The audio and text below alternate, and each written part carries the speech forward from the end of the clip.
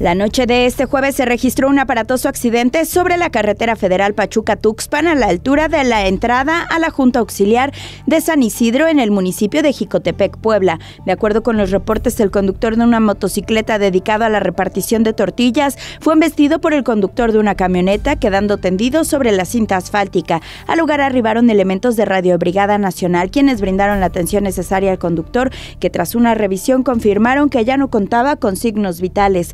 Elementos de la Policía Municipal acordonaron la zona, en tanto personal de la Fiscalía General del Estado realizó las diligencias correspondientes para el levantamiento del cadáver. La circulación en la zona fue cerrada en su totalidad. La noche de este jueves fueron rescatados más de 100 migrantes indocumentados en un hotel ubicado en la Junta Auxiliar de San Felipe Hueyotlipan en la ciudad de Puebla. De acuerdo con los reportes, se trata de 51 hombres, 28 mujeres y 7 menores de entre 14 y 17 años de edad, así como 8 bebés. Al lugar arribaron elementos de la Secretaría de Seguridad Pública, así como personal del Instituto Nacional de Migración, quienes realizaron las diligencias correspondientes para el aseguramiento y traslado de los migrantes en se determina su situación legal en el país.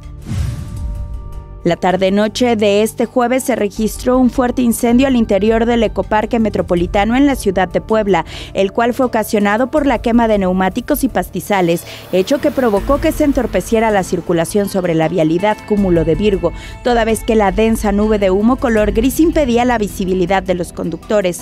Al lugar arribaron elementos de la Dirección de Protección Civil del municipio de Puebla, quienes informaron que fue alrededor de las 18 horas que el incendio fue sofocado, por lo que se procedió a la limpieza de los escombros. Elementos del Grupo Vulcanos, así como bomberos de la Secretaría de Seguridad Pública del Estado, realizaron las diligencias correspondientes para la mitigación de riesgos. Hasta el momento se desconoce el motivo por el que inició el incendio, aunque las autoridades confirmaron que se trató de pastizales y neumáticos a los que se les prendió fuego se registró una movilización policial y de cuerpos de emergencia en un domicilio ubicado en el municipio de Tehuacán, Puebla, luego de que un menor de edad fuera atendido por paramédicos de protección civil de esta demarcación tras ser golpeado por su padre. Los hechos ocurrieron en la 5 Oriente y 19 Sur de la colonia La Purísima. El menor presentaba sangrado abundante en la cabeza, por lo que familiares realizaron un llamado a los números de emergencia.